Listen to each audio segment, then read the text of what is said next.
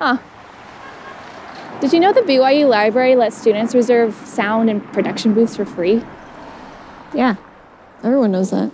Well, did you know Y Mountain wasn't originally Y Mountain?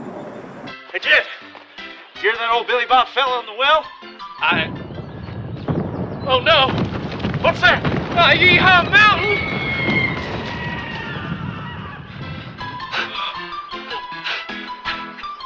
BYU Library. Reserve sound and production booths for free.